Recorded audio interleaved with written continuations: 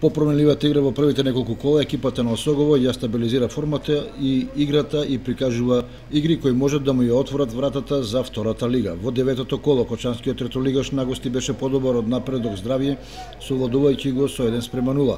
Минимална, но мощна значена победа која носи 3 бода во трката за врвот.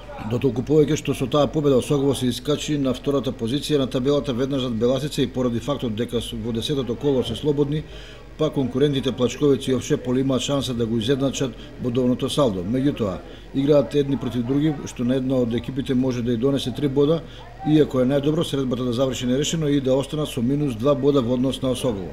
Второто дерби во третата лига Исток се игра во Струмица, каде супериорната Беласица ќе биде на прв посериозен испит против Каменица Саса, која во предходното коло ја победи Плачковица.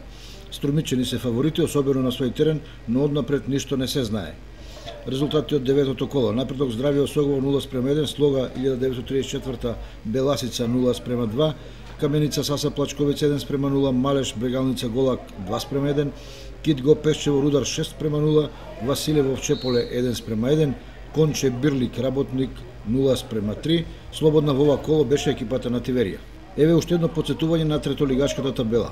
На врвот е Беласица со 24 бода, по неја е Осогова со 21, Овчеполи и Плачковица имаат по 18, Каменица Саса 16, Кит го Пешчево 15, Работник 13, Малеш од Беро 12, Тиверија 11, Брегалница Голак, Напредок Здравје и Василево со по 9 бода, Слога има 6 бода, Рудар 1 и Бирлик се уште нема освоено ниту еден бод.